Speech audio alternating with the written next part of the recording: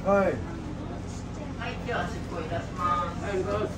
はい、今皆さんね、はい、手に見てる見えてる赤い小さなもの、これあのモミジと言って十一人乗りの出来。はい、これでね、業績が全ててます。はい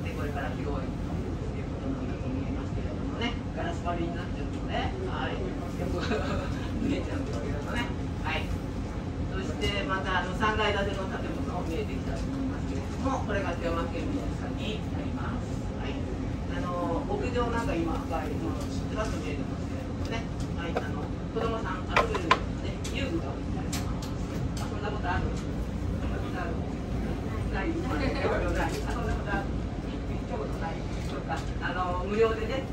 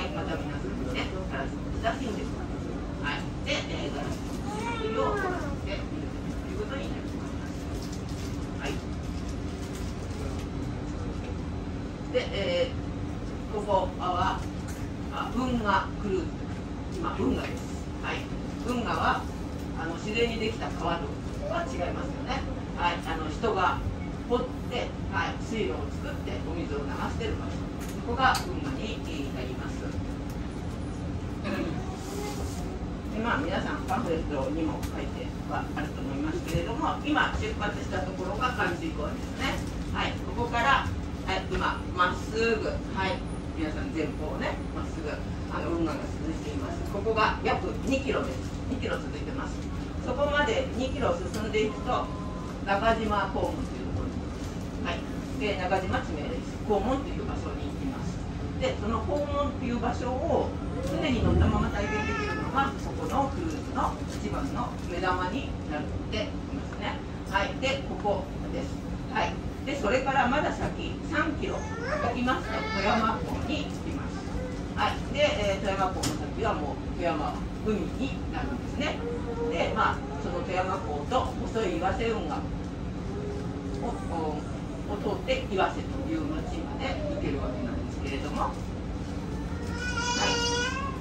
厳密には、まあ、この5キロが運河なんですが、えー、淡水公園は富山にあるということで富山港と岩瀬まで結んでいるということで岩瀬のはい一つずつ取ってまあ運河が運に持っていくで今日の皆さんのコースはこの途中の2キロ先の中島公園ね、はい、行ってそれを体験してまた関水公園に戻ってくるというコースになっていますでまああの他の定期的コースとしては、まあ、関水公園からこの岩瀬まで、はい、逆に岩瀬から、えー、関水公園に戻ってくるというコースになりますのでね。まだあの岩瀬の町、えー、散策したいなとかそれから行ってみたいなと思う方はまたね、えー、そのコースに乗っていただきたいと思います。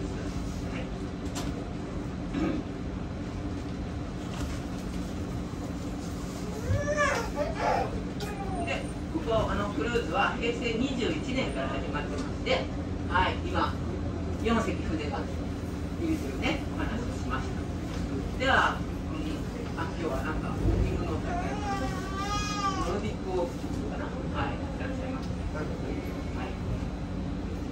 で、えー、ね4隻あるということなんですがこの船の名前さっき私が言いましたっけ？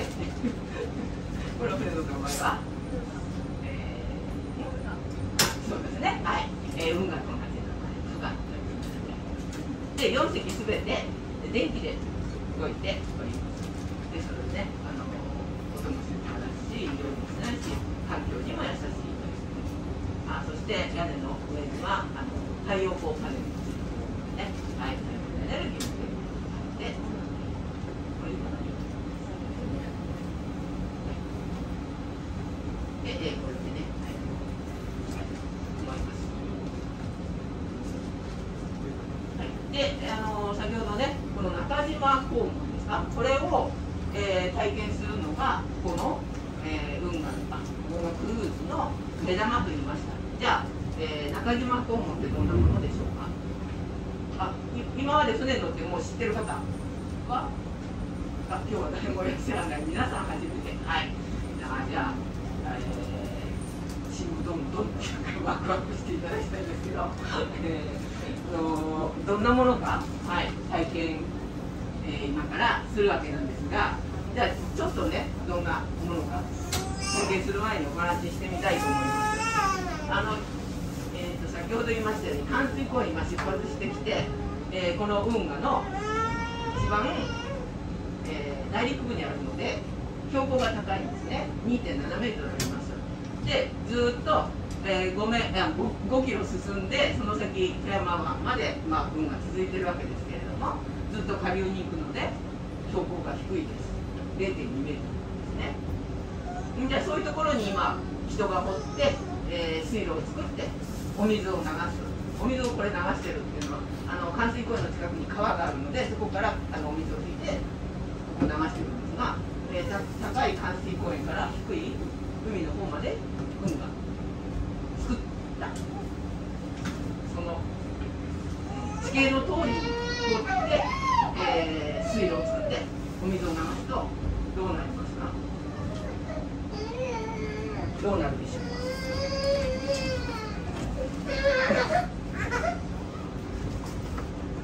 単純な絵ですけど淡水公園2.7メートルここにあって富山湾0.2メートルそこについてえお水を流すそうすると滑り台にお水を流したような状態でそれがはいこれでわーっと流されるわけです。はい、あの今からねプールに行くとこういうねスライダーウォータースライダーっていう感じで船が流されてこんな安全に通れないですねそこで、えー、必要になったんですけど今皆さんあの上流部から来てどうですか下流の方に向かっています向かってます向かってはいるんですけど、えー、高さ的にはどどどんなふうに今進んできてます今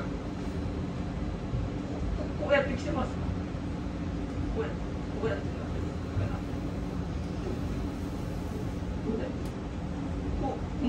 高さでずっと船進んできてますだけど低いところに行か行かなきゃいけないんですねじゃあそれを安全にするためにこの中間地点に作られたのが肛門なんですじゃあどうすればいいかな今ずっとこうやって来てるからこの中間地点で同じ場所で船を下まで下げてあげてそしてその下がったところでまたずっと行けば安全だということで、えー、作られたのが肛門ですはいこういうことですよね阪神小屋から同じ高さでずっと来てはい中島肛門を使って同じ場所で同じ高さ低いところまで行ってでここはもう低い高さと一緒だからこのままするとまた進めますそういうものが肛門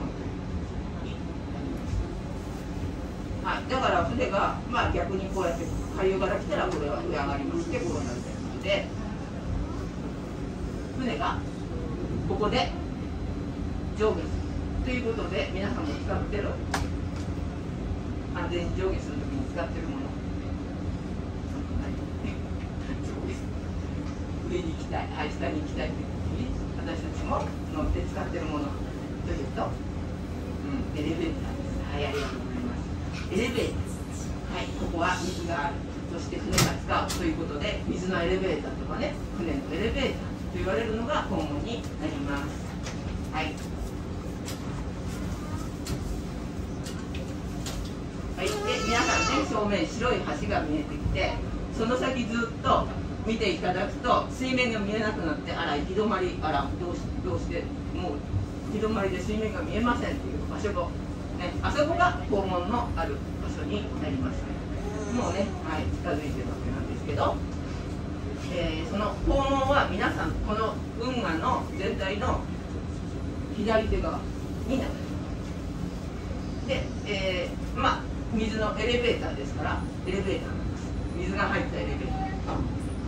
船がエレベーターなんですね。で入らなきゃいけないのでそのエレベーターの入り口上流側の扉 もう開いてきました。ごめんなさい。あのどこにあるかっていうと白い鉄塔と大きな木の間のちょっと緑っぽい帯の下。扉がどんどん左右に開いてきてます。水面からね上流の扉が出てるんですけどそれがどんどん開いてきてます。で中の水面が見えてきてます。どうでしょうか？確認できましたか？あのよかったら前でね見ていただいてもいいんです。けどどんどん扉開いてきてますよねサイドはい。あそこが肛門です。で今上流側の扉がはい船が入っていいよということで開いてきてます。左側ね緑のあはい今扉全部開きました。はい。で中に入って、えー、くださいということで扉が全部開きました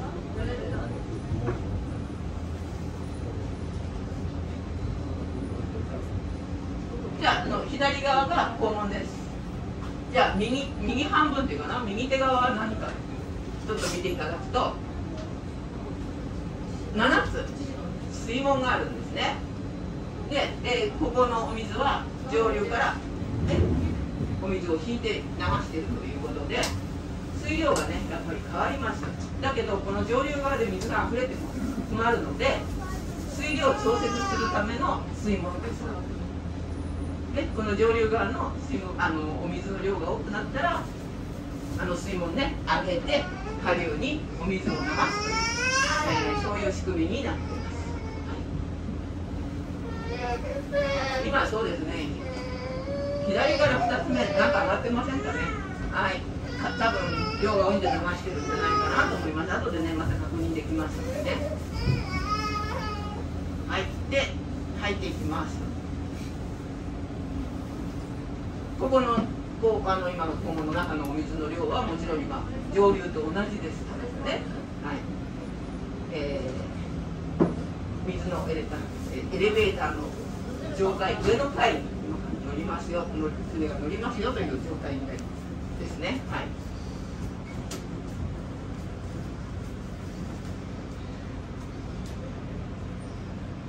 はい、入っていきます。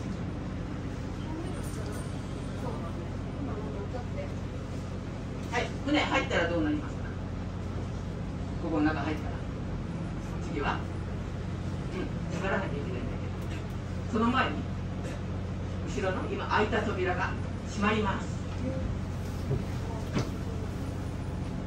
先ほどね扉ずっと遠くて見えなかったけれども今度はねあ閉まり始めましたはい閉まり始めましたね。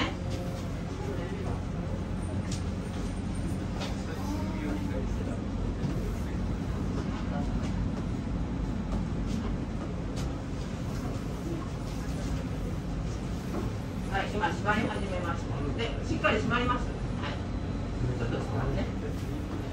その、ま、るんですけど今度前方の下流の扉今しっかり閉まってますよねあの扉を境にこの肛門の中の水は上流と同じだ扉を境に向こう側扉を境に、えー、下流側の水と同じねあの扉を境にお水の高さが違うことですね。で今ここにいる状態であの扉を開けたらどういうことになりましたすごいね流されて大変なことになります。ですのでまずここの中で、えー、船閉じ込められました。でここでこの状態で流と水を同じにする。そのためにはこの中のお水を、抜いて下げなきゃいけないんですね。それで、えー、今あの皆さん両側に壁があります。その壁の前方の脇あたりに穴が開いてるのでその穴開けて中の水を流してます。もう流してますよね。で、はい、先ほどまでお水入ってたとこねあの濡れてたので色が濃いわけですよね。そこが今どんどん広がっています。はいもうそうですね。何十センチか。わかりましたよね。はい。今皆さん座ってどこ見えてますか？覚えておいてくださいね。はい。下がったら目線の高さどうなるでしょうか？はい。もう下がり始めましたけれども今こう入った時点で、えー、下がって下流と水位が同じになるので時間的にはどれくらいかかるかじ。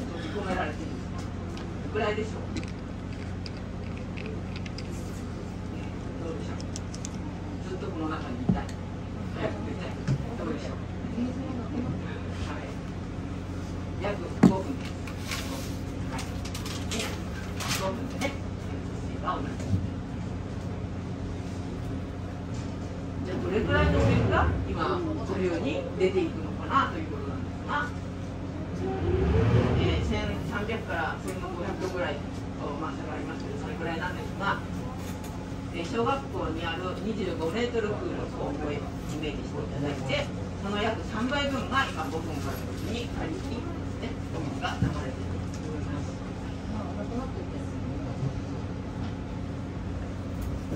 もう皆さん先ほど上見えてたとおり壁しか壁がね見えるように壁しかね水分がなってきた。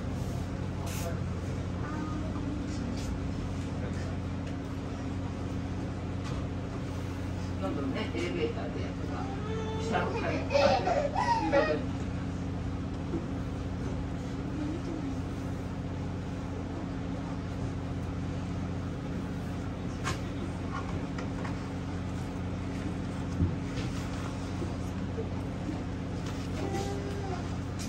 はい、穴がどこにあるかということなんですが、これ前方の下流の扉が今閉まった状態で、でこのコンクリートの壁っていうのはお水が全部抜けたそこからこの高さ6.3メートルあります。はい、その壁がこの写真のこの一番はい、その脇前方の扉のこの脇、ここに穴があります。この穴から今ね、えー、お水がね、下流に流れてくる。人がいますけど、まあ、人が通れるくらい高さ1.8メートルくらいはい、船はね、この辺りからこうやって。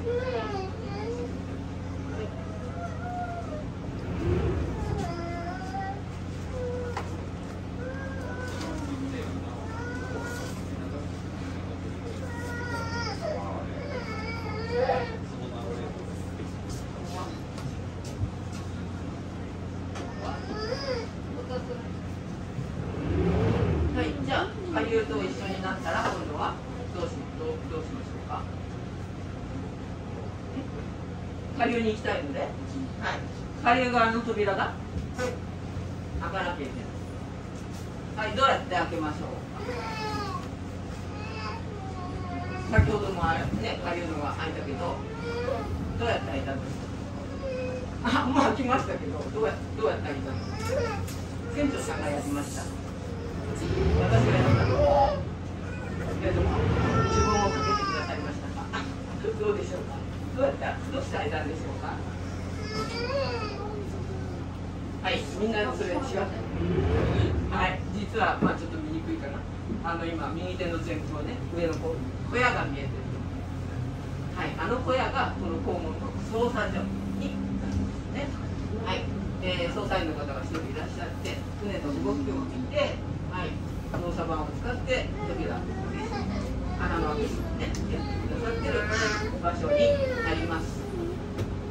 はい今ねはい下流とね水位が同じになったので扉開いてはい安全にね今時間の回ということで、えー、出ていけるということになりますで、えまあ、この先前方ねずっと3キロ行くと富山港その先あの富山湾ということになりますですので、まあ、海とつながってますこのね。この辺りまで、まあ、海水が混じって実水ということでね。あの海の魚も、はい、見られることがあるということで。で今日は今日のコース今のコースは、まあ、あのあの岩瀬に行かないのでここで皆さんね U ターンして今度は下流から上流に行く船もこのホームを使うのでそれを体験するということになります。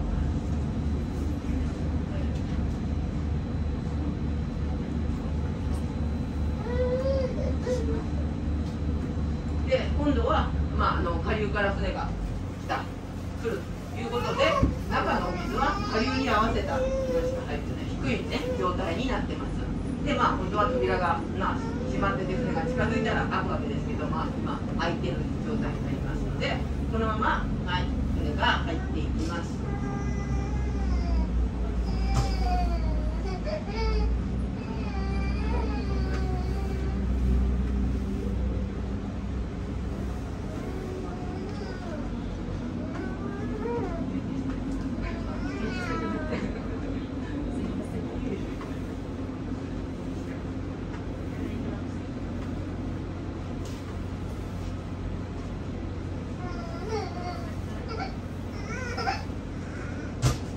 い、入ります。今度はね、エレベーターの下の階、はい、からの階ということですね。はい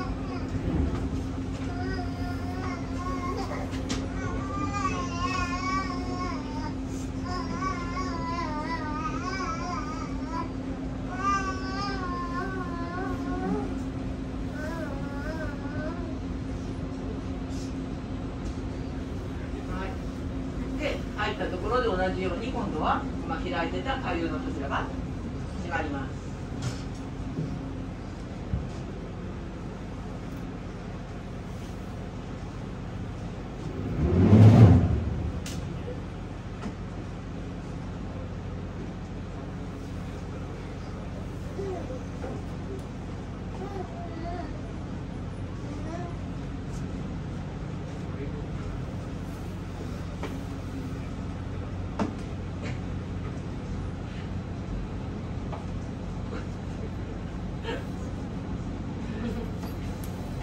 はい、はい、閉まり始めまして、はい、もうすぐ閉まりますね。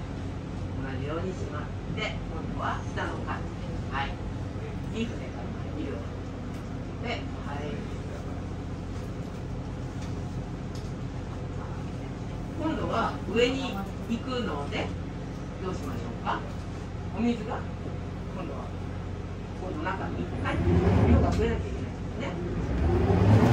今度はかあの上流側の壁の脇に穴があるここを開けて上流の水をこの中に入れます。はい。それで水を入れて先ほどのこの高さね、えー色の違いのこの高さまでお水がまた入ってくるでもうあの前方水面見ていただくとお水が湧き出るように今入ってきてます。どんどん入って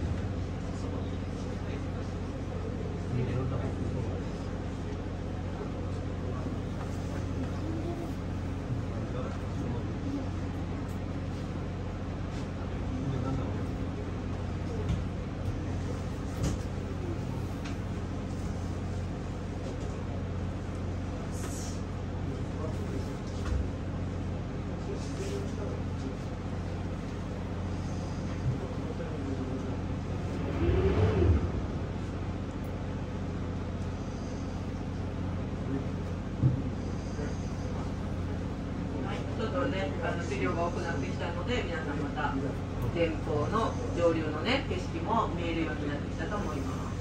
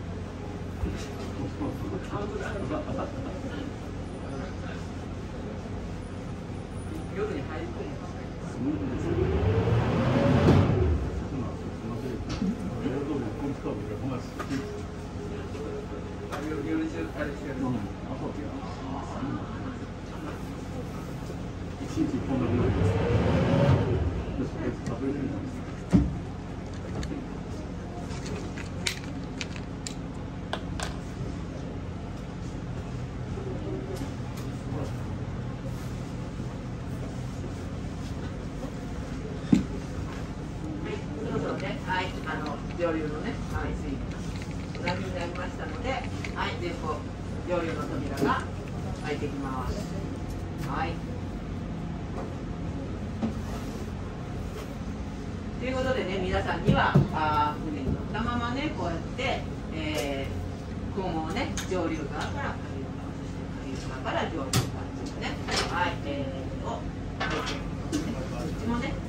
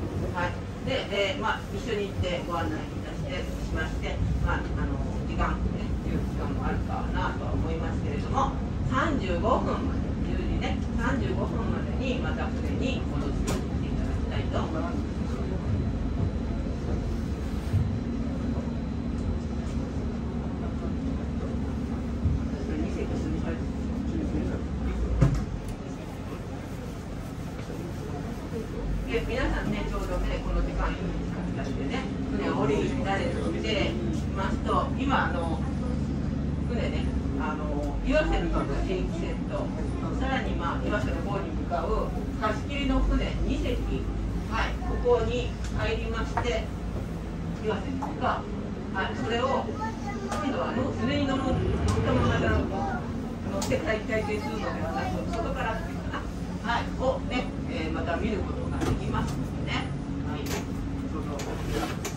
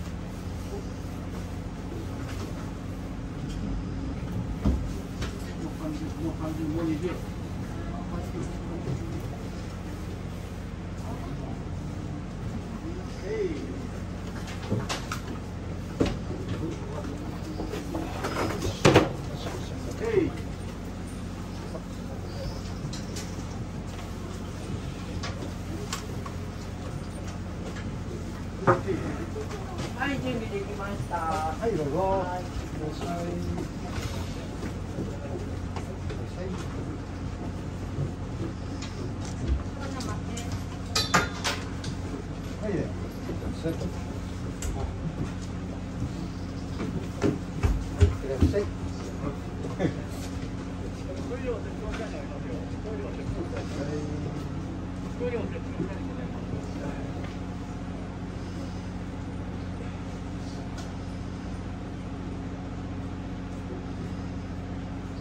から大型全2席ね、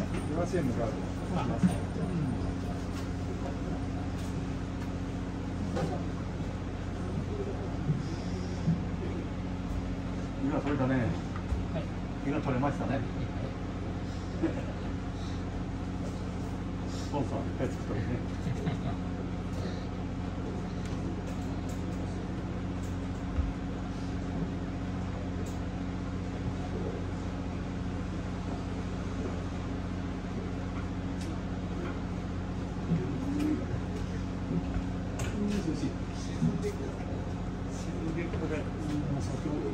やぶのパーで忘れ。三十一やっそんなかのか。空に、あの、あっちやつに？あっちやつに？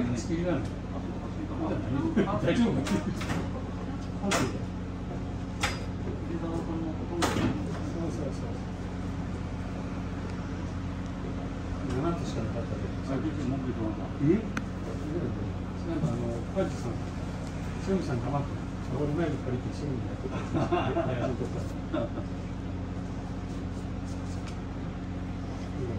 Center.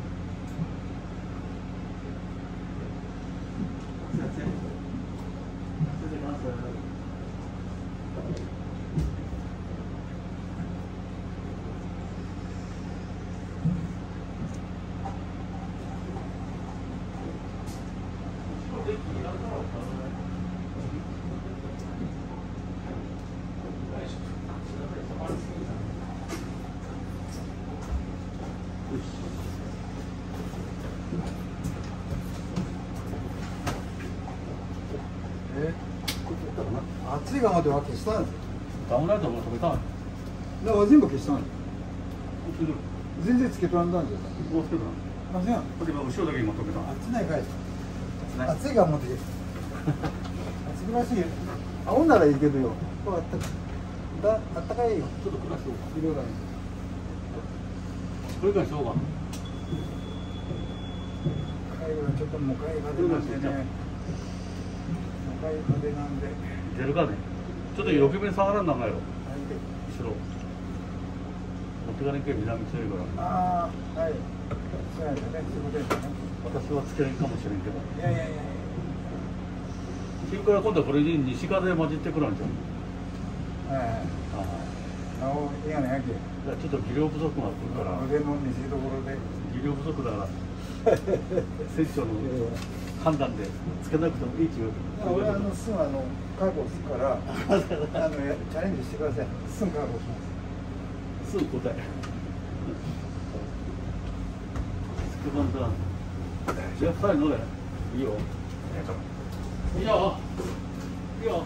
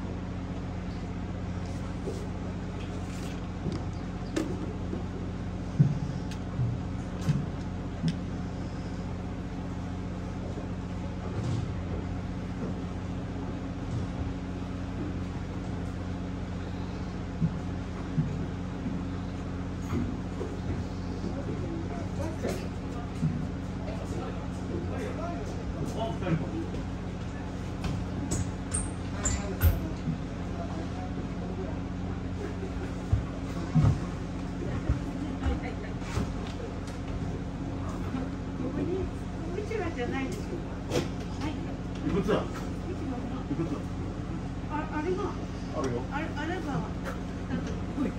そうでもないです。あら船間違い船船間違いだ？空に行ったよねうん。空にもらわれそら、切った。あ、今。今来んねん。空にもらう空空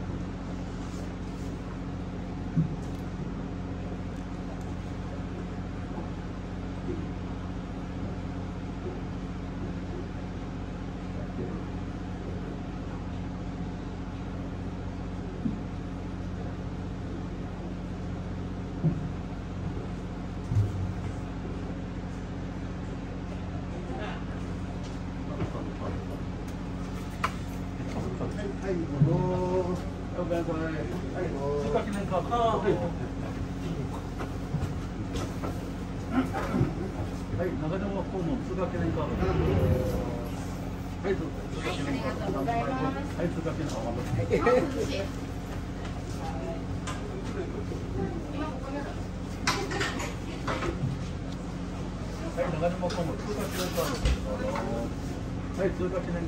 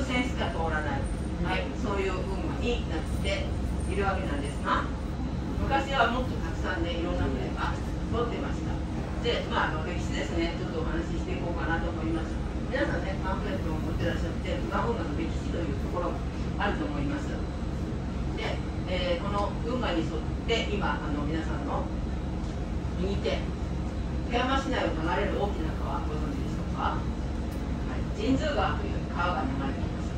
その神通川、えー昔、えー、と町の中をね、えー蛇行して流れていたんです。うん皆さん、南に向かっているんでね、地図も上が南の地図です。まあ、神通川は今皆さんの右手ならまっすぐ流れてるんですが、えー江戸時代、はい、明治時代、こうやって蛇行大きく街の中で蛇行して流れております。でこんなふうに蛇行して流れていると、あのよく氾濫して洪水が起こりやすかったんですね。で、なかなか街の中をこう整備することができませんでした。そこでもうあのこの流れを変えようといううことで、えー明治時代ですね、えー考えられた工事、それが、はい、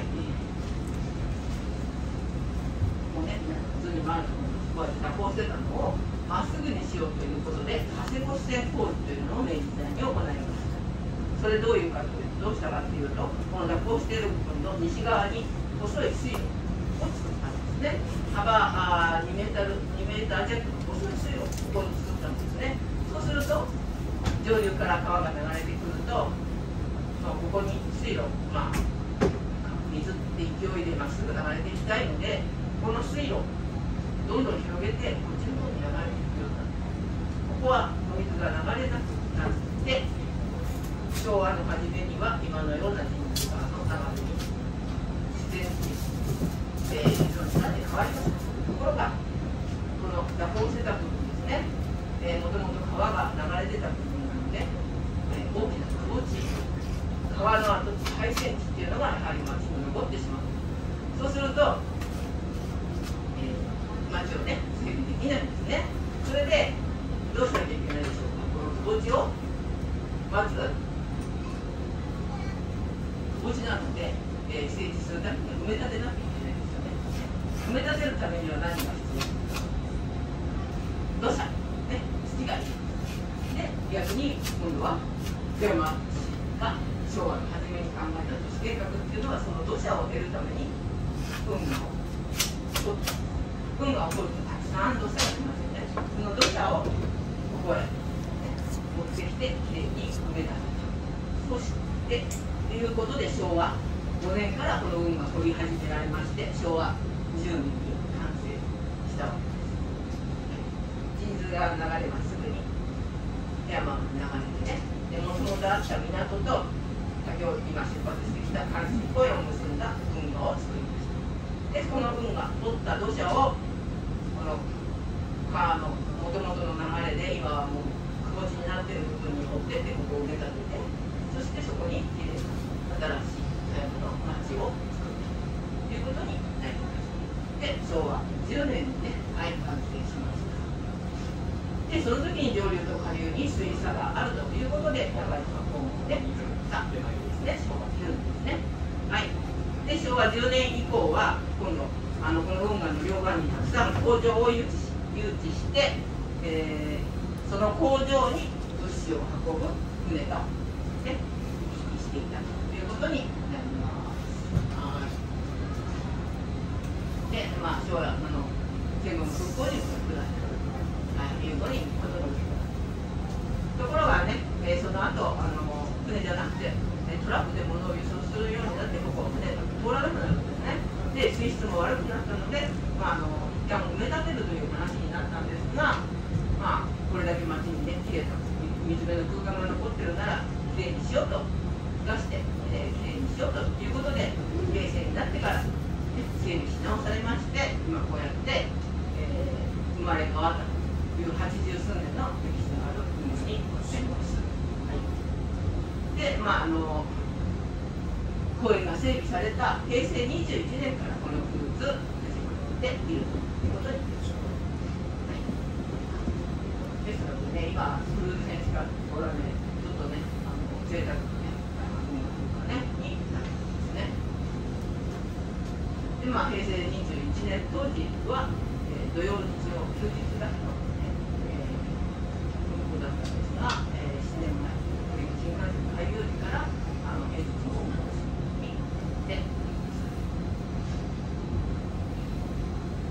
ようになっています。で、まあ、今は、そうですね、もう新緑、アジサイとかね、いろいろ。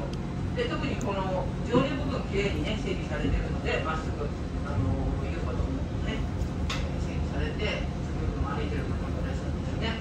あの、走ってる方もいらっしゃるということでね、はい。えー、寒い日になってます。さらに、あの、桜の木がね、はい。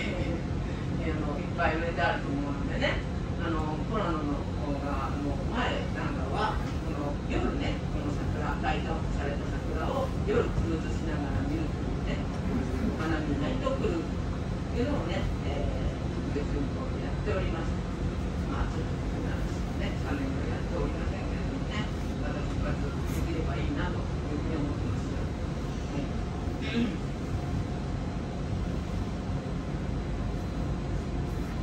ねということで、もうそろそろお話し、えー、こうこういうことになりますが、は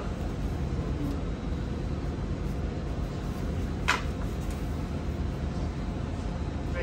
で、まあ、あの、今、右手の方の有効度、こう丸丸い形あるから見えますけども、これ、あの、玉のフレームと名付けられた噴水帳、噴水なんですね。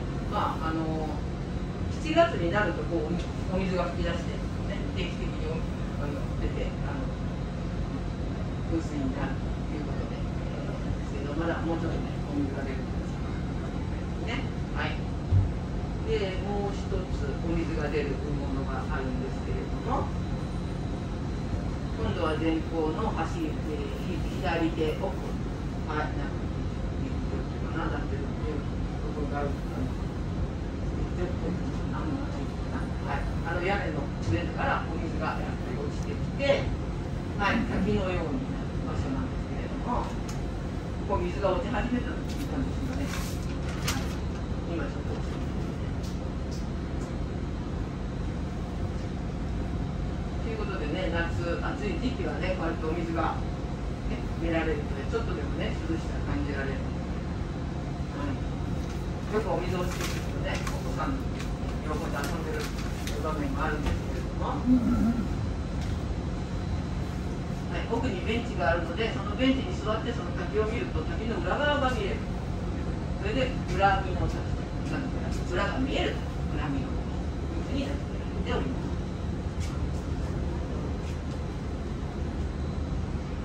今皆さん、ね、左右ね、遊歩道、ずっと球体、黒い球球体、これは何でしょうか？何でしょう？はい、えー、これ街路灯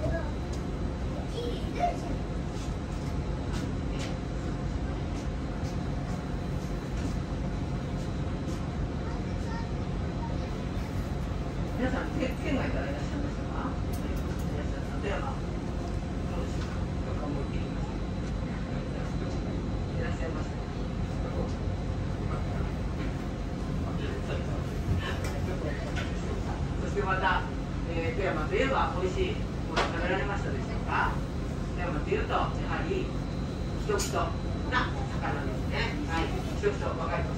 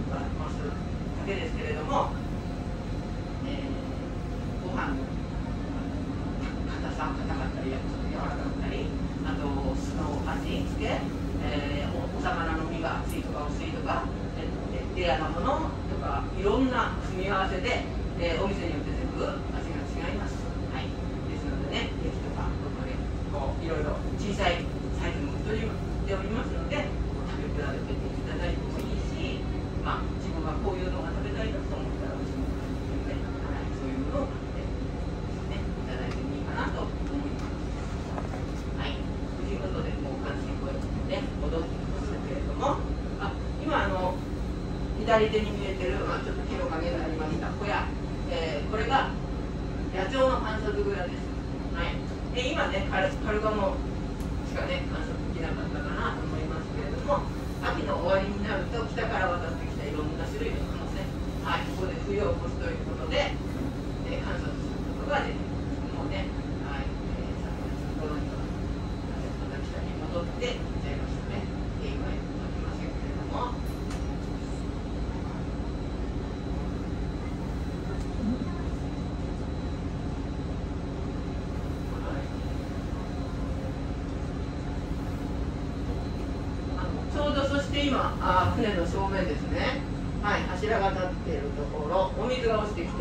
滝が落ちておりますあそこが、えー、泉と滝の広場この公園の入り口になります。はいああやってあの定期的に上から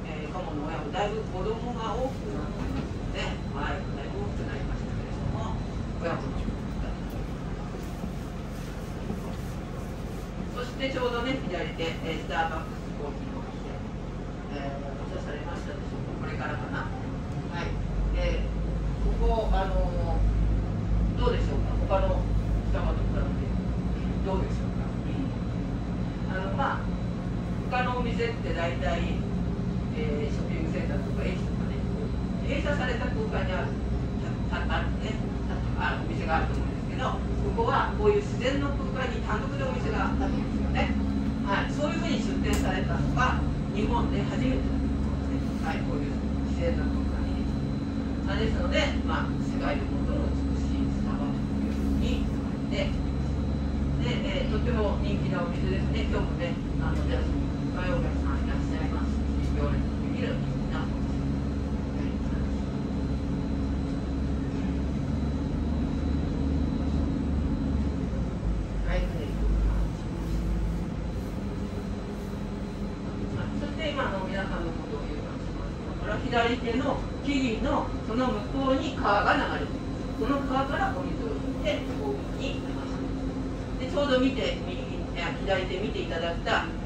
na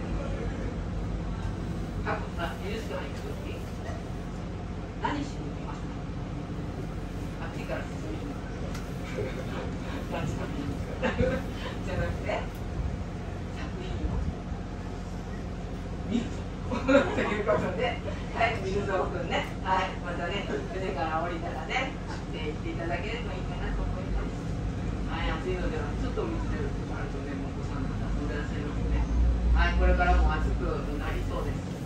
はい、ということなんですけれども、まあ、今日のクルーズ、はい、えー、完成後へ到着ということで終わりになります。えー、で、中でも本日体験していただくということで、まあ、例えばまた季節を変えてね、美味しいもの、はい、そして、えー、この公園もね、えー、もう50点ばっかり。また、ありますので、はい、また、あの、機会があれば、あ出かけていただきたい。はご乗船ありがとうございました。はい、またのご支援お待ちしております。ありがとうございます。ちょっと待ってくださいね。座っててください。まだあの船の完全に止まります。動きます。はい、忘れ物ないよう。